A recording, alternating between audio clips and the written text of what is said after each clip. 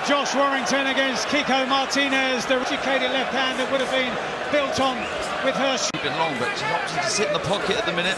This will suit Ebanie Bridges. Ebanie Bridges. And it appears over the course of the Him from Roman, I thought she'd move, work behind the jab, knowing. She's got a nice uppercut, so Bridges will get the better hand if they stay. Got head movement from Roman, so there's always that time where an age, a fighter does age. Is that the champion coming in, subjected to a bright start from. see a couple of big deep breaths, though she is boxing really well, don't get me wrong. Now she kept trying and kept pressing. Yep, she kept coming forward. She's a good Four of the first five contests in her professional career. Let her hands go now, Mike. Isn't she really put them together? On to the Australian. Clean, but the right uppercut inside from Ebby, how tight she is inside. She's crafty, she's clever. Good right hook from the whole time. Already with that mouth open with half a minute to go in the fourth round. good variation, good right to the body, followed by right uppercut, but back comes up.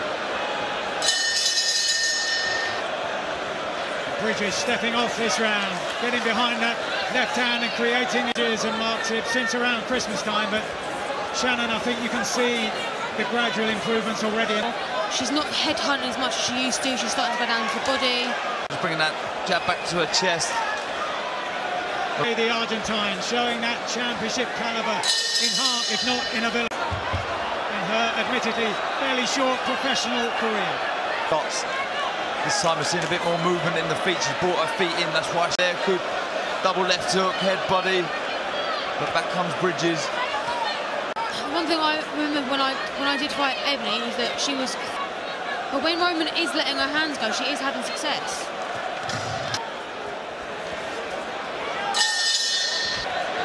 This is better from Roman. She's got to work away once she's there. She's opting to move nicely inside. Again, this is where Roman's got to work. She's got that jab slowed down ever so slightly, just pouring the shot out. She will be open to the right hand. She gets caught with one there. Still of the fight for her, even though she is not yet getting on top. But I just feel there's just been a bit more from Bridges, really letting the shots go.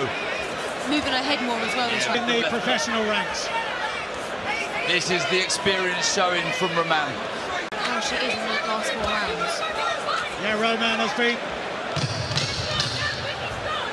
this is a battle of will to win. Make that count now. We've got Ebanie Bridges in front.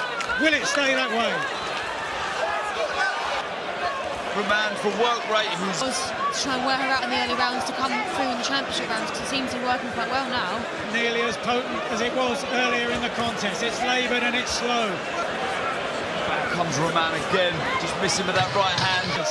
Bridges looking to become champion in inside, both not loading up the shots and more arm shots, but both having success.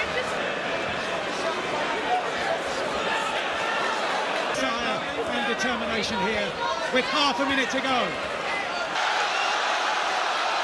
And the crowd rise to this last exchange of this compelling by her corner. But has the title gone to Ebanie Bridges? Is